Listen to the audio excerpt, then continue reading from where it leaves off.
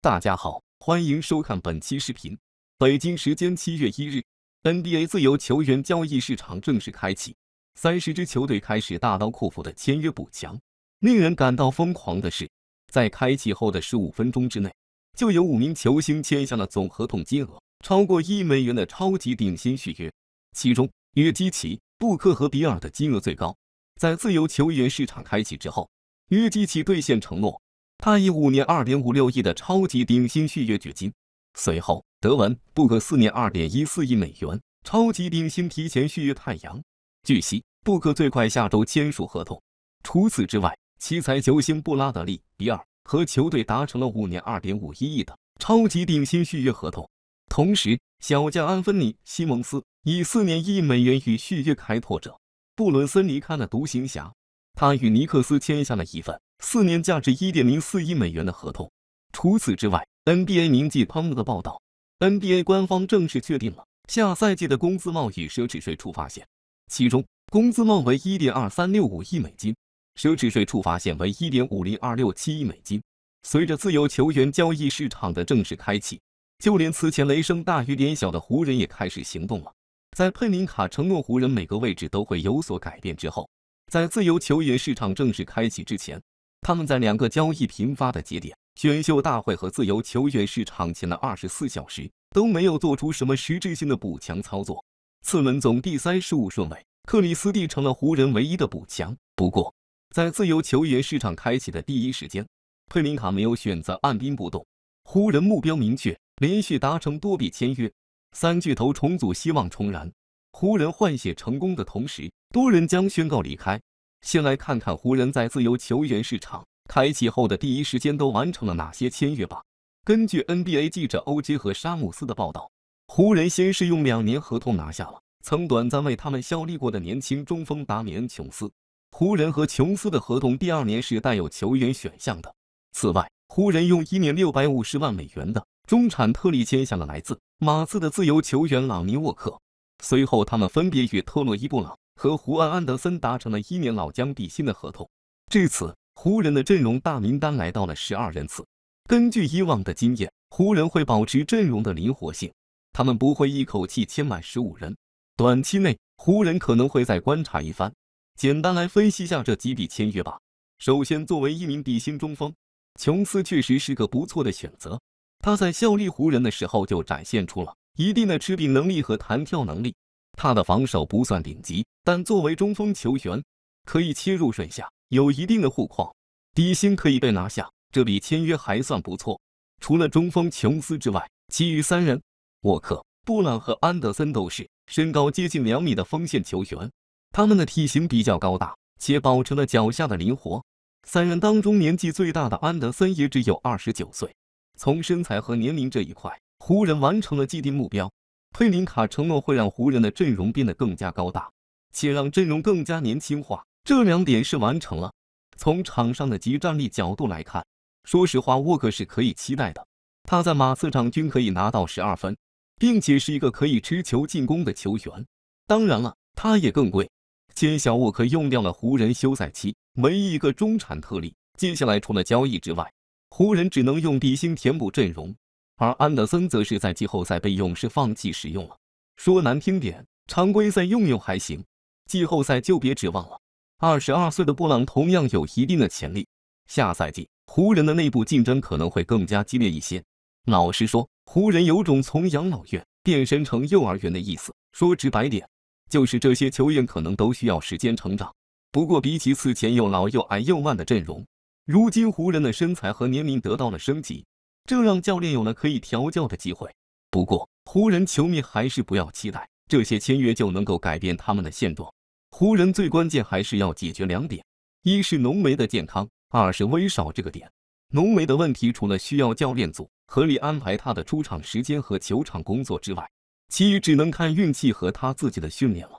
而威少的问题，如今再次出现了曙光。随着自由球员市场正式开启。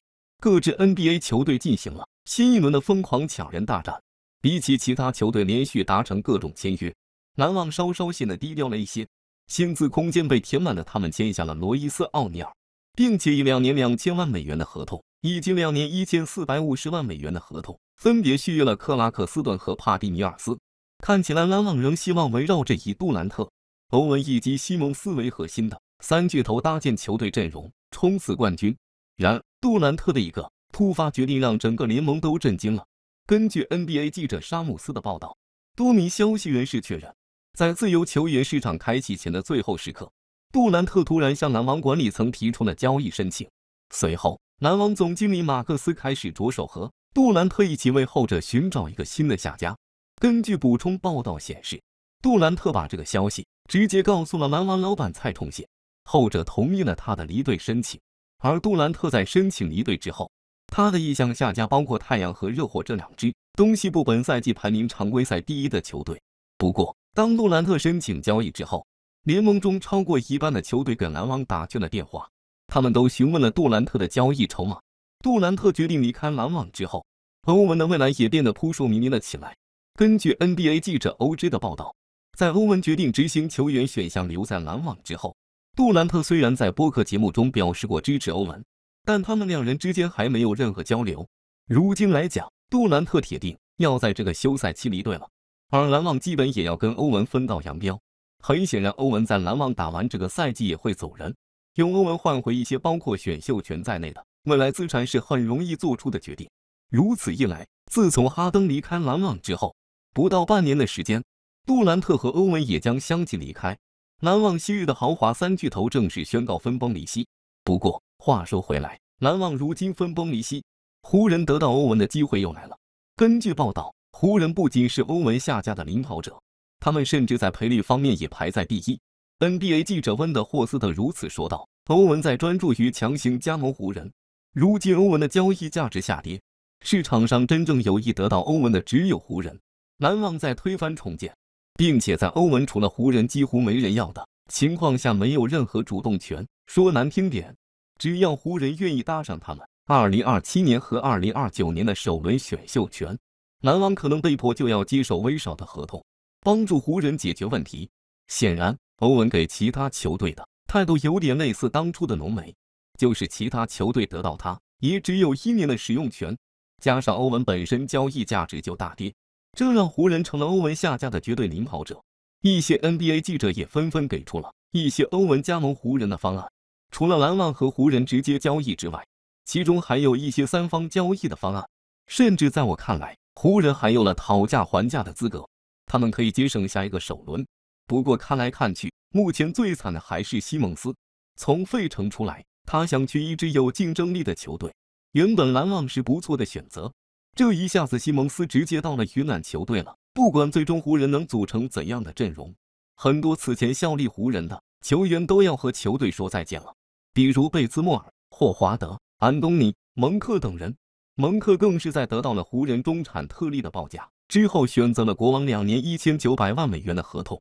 这也无可厚非，人为财死，鸟为食亡，有更多的钱不挣才有问题。也正是在蒙克拒绝了湖人之后。湖人才转而去用相同的合同拿下沃克。不过还是那句话，角色阵容无论怎么换，也只不过是锦上添花罢了。湖人的核心问题出在哪里？大家心里都非常清楚。湖人也将全力追求欧文。湖人的消息就先说到这里，接下来看一看勇士的消息。据消息透露，勇士队传来两个消息，但却是一喜一忧。喜的是，SP 公布了年度最佳 NBA 球员奖候选人名单。和年度最佳男运动员奖候选人名单，库里成功入选。值得一提的是，库里是唯一一位入选年度最佳男运动员候选人名单的 NBA 球员。毫无疑问，库里就是 NBA 本年度的招牌球星。这也意味着库里基本上锁定了年度最佳 NBA 球员奖。有的是来自勇士队官方的消息，球队二轮秀罗林斯遭遇右脚第五指骨应力性骨折的伤病，无缘夏季联赛。为了选中罗林斯。勇士队付出了五十一号签和二百万美金的代价，可谓是得不偿失。过去八年，勇士队夺得四冠，唯一能阻挡他们的就是伤病。希望伤兵能够远离勇士，